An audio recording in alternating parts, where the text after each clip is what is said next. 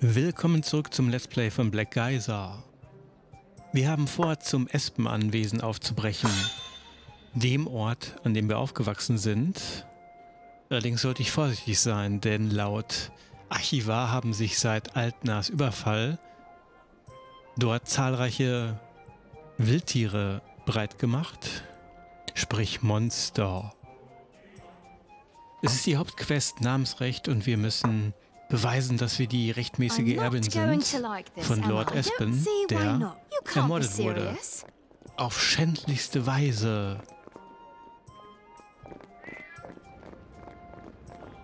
Wir schlendern nochmal bei dem Marktplatz von Easelbright. Was haben wir denn da? Ein Feuerspucker. Und meine Augenbrauen waren gerade nachgewachsen. ich wünschte, mein Vater könnte das auch. Dann müssen wir im Winter nicht mehr frieren. Ja, sowas bringt natürlich Stimmung. Und wir wissen auch jetzt, wo diese Wächtergolems hergestellt werden. Nämlich in der Zauberakademie im Keller. In der Golem-Manufaktur. Magisch animiert. So, wir brechen auf. Alle, wir haben uns nochmal erholt, übernachtet und ich denke, wir sind einigermaßen gut ausgestattet. Ähm, so, Espen-Anwesen, wir kommen. Ganz schön groß die Karte. Lands of Zida Suda, mehr so eine Wüste. Unten wird's bergig. Tja, werden wir dorthin reisen? Eines Tages ein Seemonster oder vielleicht erst im DLC? Hm, eine Insel. Macht richtig Lust auf Erkundung, die Karte. Aber es geht erstmal zurück zum Anwesen, wo wir aufgewachsen sind. So kennen wir es. Wie wird es jetzt sein? Zumindest regnet es. Boah, überall Knochen. Das sieht aber nicht gut aus. Da bin ich also wieder in meinem alten Zuhause. Es hat sich einiges verändert. Irgendwo unter dem alten Schutt müsste sich der Beweis für meine Herkunft verstecken. Das Dokument. Deswegen sind wir hier. Okay. Hemlin? Hm? Schleichmodus. Und bitte mal die Gegend auskundschaften. Off I go.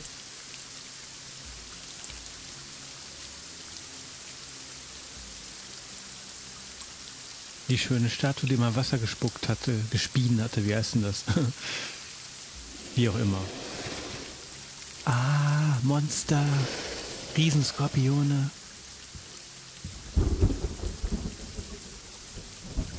Oh, oh.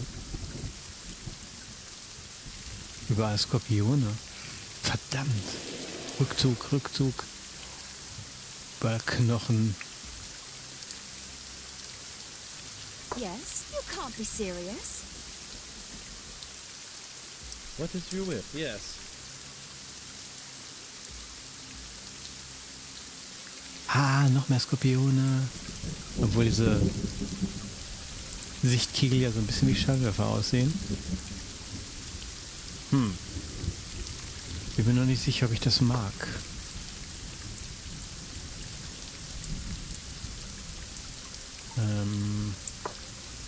Der Brunnen ist in der Mitte der Karte.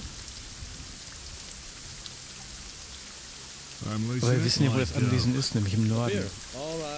Wir kennen es ja, außerdem sind wir aufgewachsen. Außerdem begann hier das Spiel. Yes. So. Zeit zum Zaubern.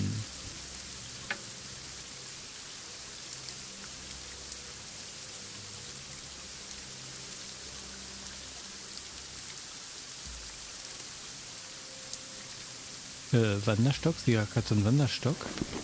Was macht denn der? Außer Stock sein. Go ahead. Yes. So, wir haben da irgendwo noch einen anderen Stab. Hm, wo war denn das? I'm not going to like this. Linnea. Gelehrter Stab. Gucken, ob der besser ist. What next? Optisch ja. Hm.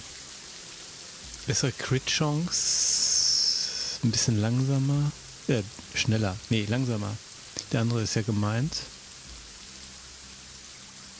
Äh, naja, tut sie nicht viel. Also der bringt ein bisschen mehr beim Z- I Zauber don't lernen. see why not. Oder zaubern? Hm. Schaden der gleiche. Rüstung für Linnea.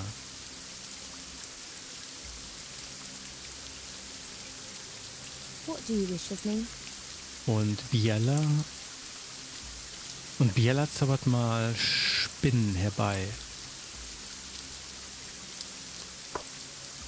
Als Ablenkung. Ansonsten bringen die nicht I'm viel. Here.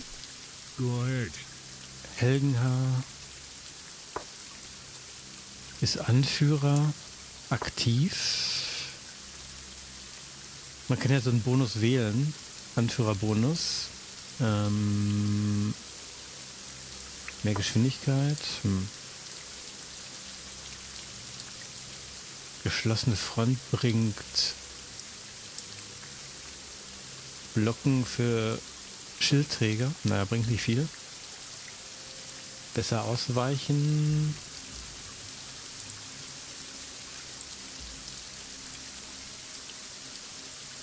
Ducken und Parieren 5% verbessert. Angriffe auf das aktuelle Ziel um 50% verbessert. Wolfsrudel.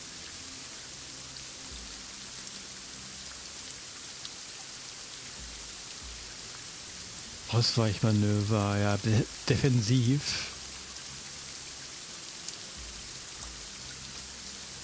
Drei Prozent, naja, bringt nicht viel. Aber immerhin. Besser als nichts.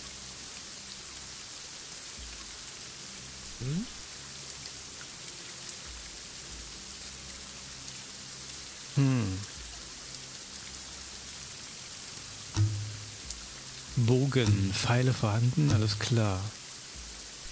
Wir starten Angriff. Aus der Ferne. Oh, so viele, verdammt. Oh, oh. I'm ready. All right, all right. As nach you vorne. Ready to serve. Die and Racker nach vorne. Go ahead. Okay, die Spinnen lenken ein bisschen ab links. Ah, sie brechen durch. Ja, sie gehen auf den ersten Angreifer. Ähm, My skills are at your disposal. ist natürlich blöd. A beer. Here. Also, dass sie dann We'll find a solution. You're in my way. I'm ready. auf den ersten Angreifer zu äh, sich konzentrieren. Hm. Shit, ich muss auf ein Messer gehen. Ähm, was passiert?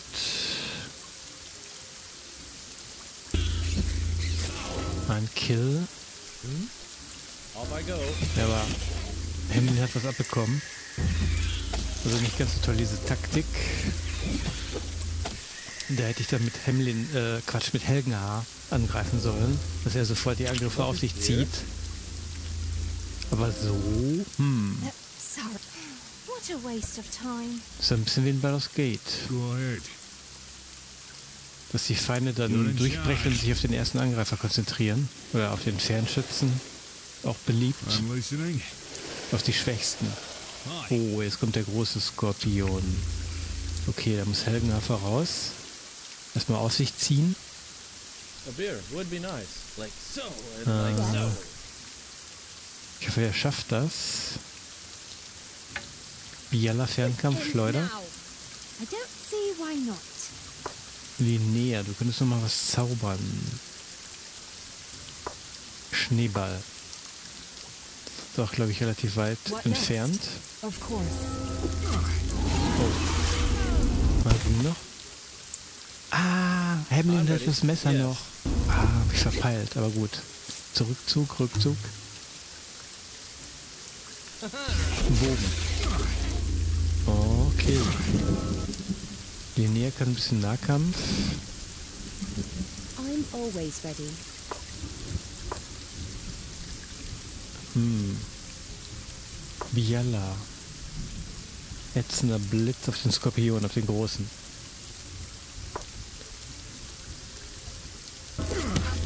Oh. Okay, geht noch. Ja, What is your wish? noch geht's in Ordnung. Uh, sorry, what? Whatever you say.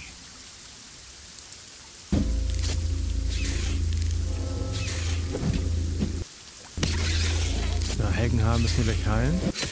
Ah, okay. Das ist der große oder kleine? Of me? Der große lebt noch.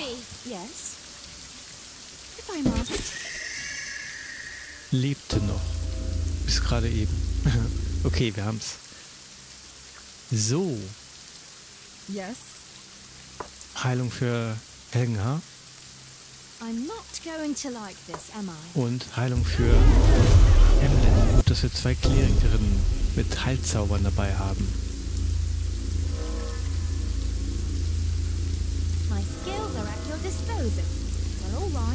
Okay, kommen wir in die Villa. Da rechts sind, äh, rechts sind noch mehr Skorpione. Wir versuchen mal reinzukommen.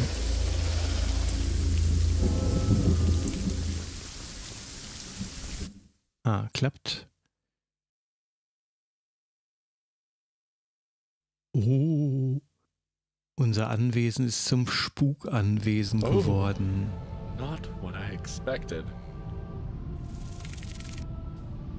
Was ist hier passiert? Was haben wir denn da? Geister? Skorpione auch. Ein Desaster. Tja.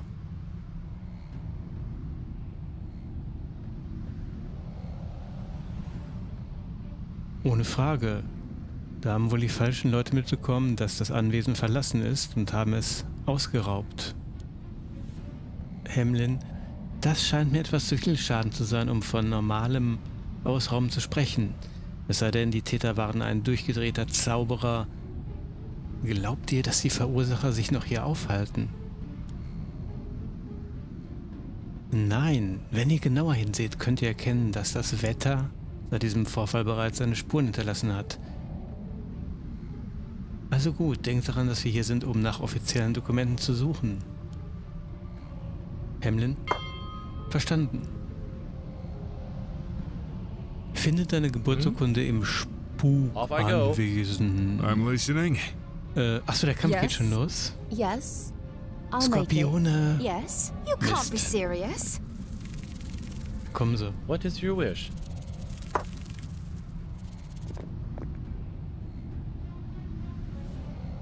Go ahead. I go. Oh. Zwei kleine und ein großer. I'm always ready. I'm not going to like this, am I? Miss Mistzeug. What a waste of time. What do you need? By stealing Hau stone! sie weg. What do you wish of me? Spinnen beschwören.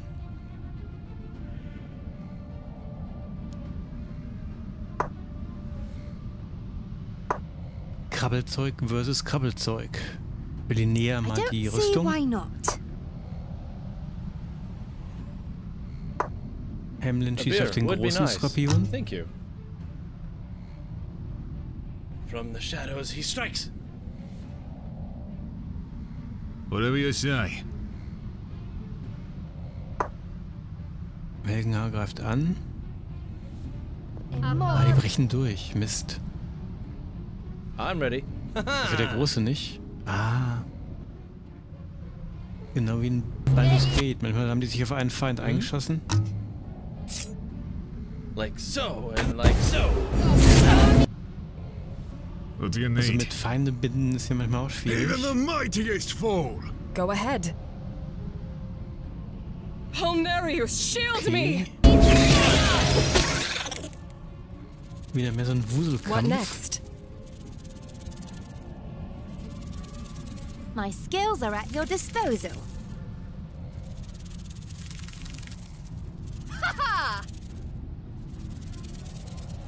A beer would be nice. We'll find a solution. Zaubern für Biella.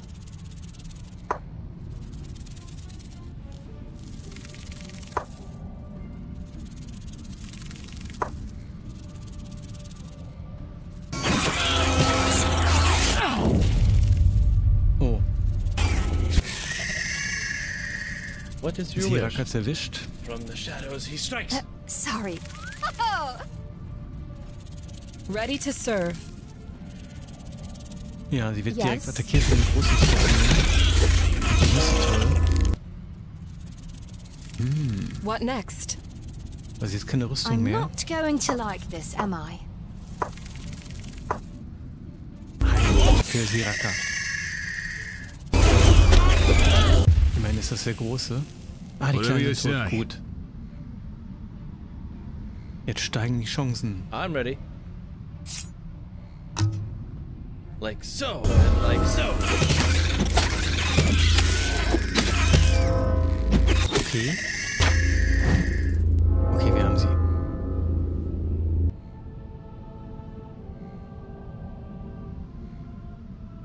A beer Okay, would be nice. ähm, ich denke, Thank you. wir weiter, solange die...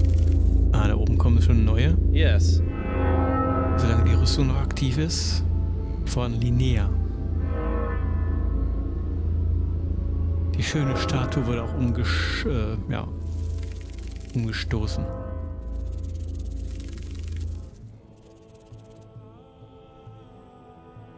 Okay. Was ist hier? Oh. Ein Skript. Mir doch einer ein Hühnchen. Na?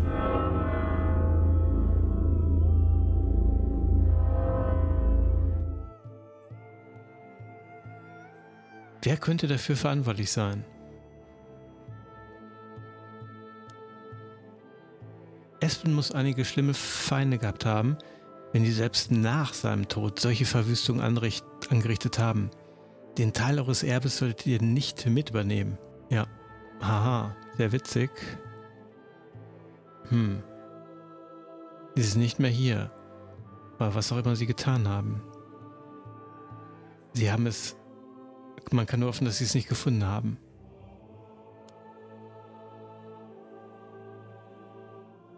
Diese mysteriösen Aufständischen haben wirklich keine Manieren, mal im Ernst. Wie viel Sand kann man bitte in ein Haus tragen, das so weit vom Meer entfernt ist? Tja, jetzt mal im Ernst. Der Schaden ist immens. Sicherlich nicht das Werk von Dieben. Allerdings. Ja, wir wollen ja nicht ihn äh, beleidigen. Hm? Ist euch was aufgefallen, Hemlin?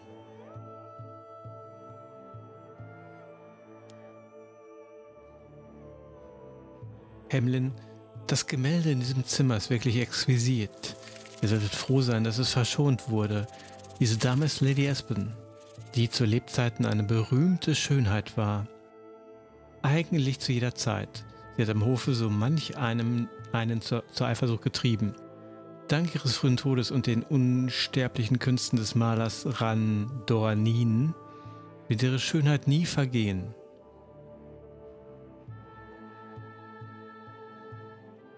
Zudem war es das letzte Werk des Künstlers, bevor er verstarb, weshalb es, nun, das ist alles, was ich dazu weiß. Naja, wahrscheinlich weiß er mehr. Okay, fragen wir direkt, habt ihr vor, das Gemälde zu stehlen? What bizarre conjecture. How could I even transport it? Without the aid of a dear friend and confidant. Was für eine, was für eine absurde Anschuldigung. Wie sollte ich es überhaupt transportieren? Hm. Okay, fragen wir weiter.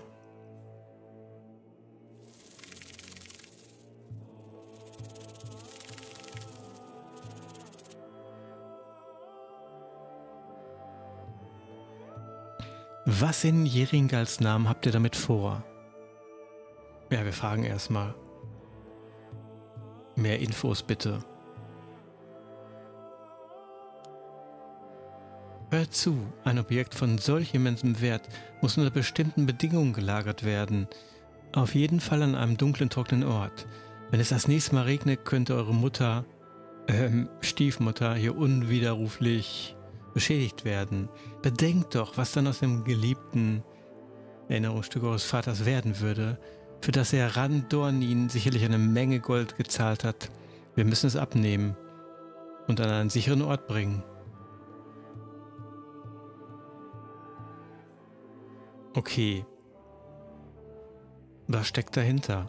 Hamlin, sag mir zuerst, warum ihr das Gemälde von Lady Espen wollt. Dann werde ich mich entscheiden.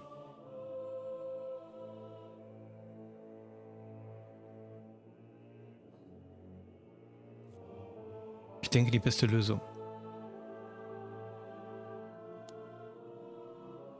Okay, ich werde die Wahrheit sagen. Mir wurde aufgetragen, dieses Kunstobjekt zu beschaffen. Mehr kann ich euch nicht sagen, wenn es euch um das Geld geht. Ich werde euch entschädigen können. Eines Tages. Okay, wir versuchen nochmal falsch überzeugen. Schon gut, ich werde euch nicht als Dieb bezeichnen. Man sieht, dass dieses Gemälde euch viel bedeutet. Aber ihr werdet mir sagen müssen, warum das so ist. Ja, das ist wohl nur fair. Es gibt da einige Adlige am Hof, die zu ihren Lebzeiten nicht sonderlich gut auf Lady Espen zu sprechen war. Eine Adlige war. Vermutlich lag es daran, dass Lady Espen so viel freundlicher und intelligenter war als sie. Und eine bessere Tänzerin wahrscheinlich auch. Eine Neiderin am Hof. Wie dem auch sei, sie hat jedenfalls eine Organisation in Eagle Bright, damit beauftragt, ihr das Gemälde von Lady Espen zu beschaffen. Diese Organisation hat den Auftrag ausgeschrieben und dafür eine hübsche Belohnung geboten. Aber wie ihr euch denken könnt, geht es mir nicht um das Geld. Wenn ich dieses Gemälde abliefere, wird mein Name in Bright und im ganzen Land bekannt sein. Bei all den kleinen und verachteten Leuten, die ihre Leben in den Schatten führen, Deshalb bedeutet es mir etwas. Hm, ob wir das mal glauben? Einem Dieb? Aber gut, wir vertrauen mal. Also gut, wenn es so wichtig für euch ist, dürft ihr es nehmen. Wir werden ja sehen, ob unser Vertrauen berechtigt ist. Hamlin freut sich. Es macht mich glücklich, das zu hören. Ah, nimmt es ab.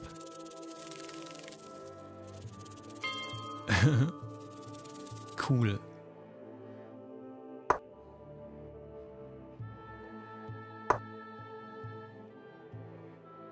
Hamlin sagt mir, dass er das Gemälde von Lady Espen nach Easelbright mitnehmen möchte. Da es für mich sowieso keinen Nutzen mehr hat, half ich es ihm, von der Wand zu nehmen.